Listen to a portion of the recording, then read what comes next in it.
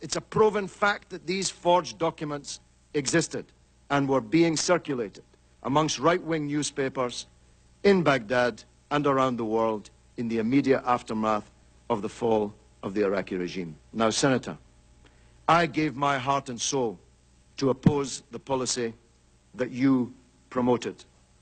I gave my political life's blood to try to stop the mass killing of Iraqis by the sanctions on Iraq, which killed a million Iraqis, most of them children.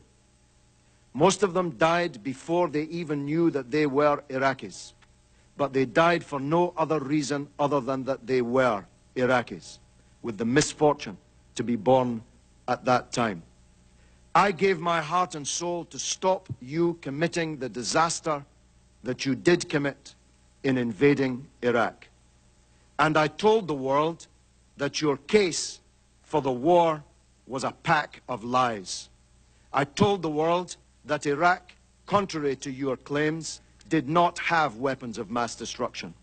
I told the world, contrary to your claims, that Iraq had no connection to Al-Qaeda.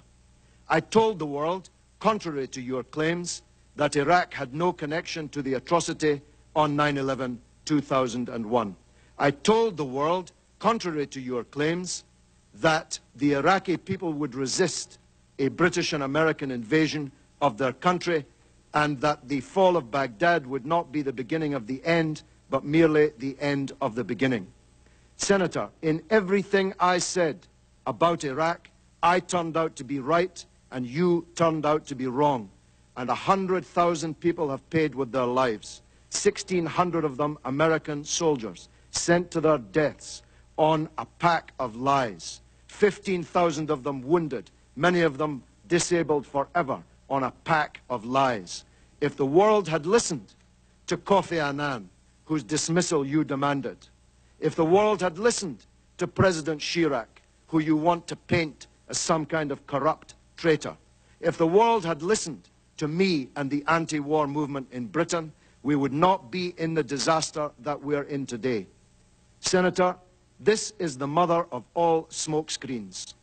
You are trying to divert attention from the crimes that you supported, from the theft of billions of dollars of Iraq's wealth. Have a look at the real oil for food scandal. Have a look at the 14 months you were in charge of Baghdad, the first 14 months, when $8.8 .8 billion dollars of Iraq's wealth went missing on your watch. Have a look at Halliburton and the other American corporations that stole not only Iraq's money, but the money of the American taxpayer.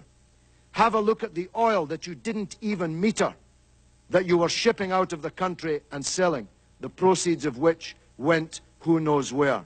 Have a look at the $800 million you gave to American military commanders to hand out around the country without even counting it or weighing it.